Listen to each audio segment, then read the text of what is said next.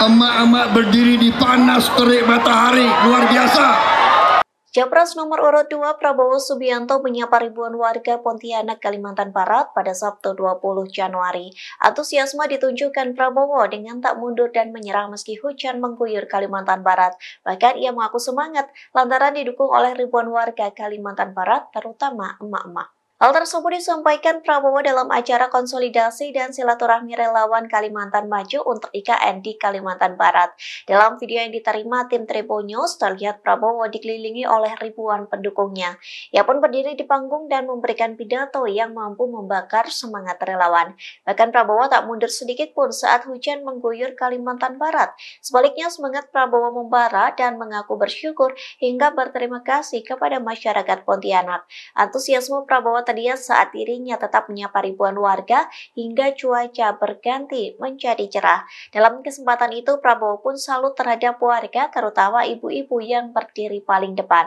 Pasalnya, mereka tak beranjak apa pun cuaca saat itu.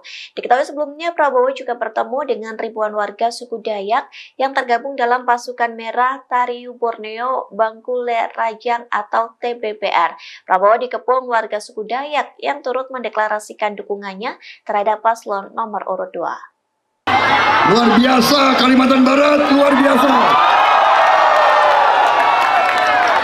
Ini emak-emak berdiri di panas terik matahari, luar biasa. Kalau hujan tidak bergerak, kalau panas terik matahari tidak bergerak, luar biasa.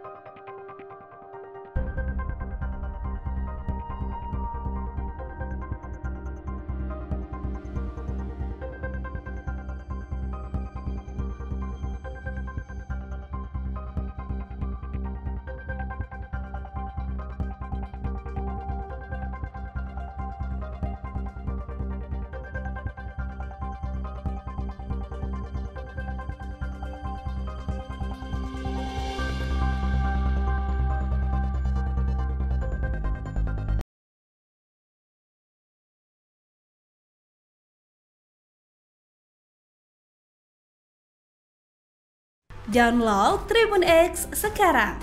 Menghadirkan lokal menjadi Indonesia.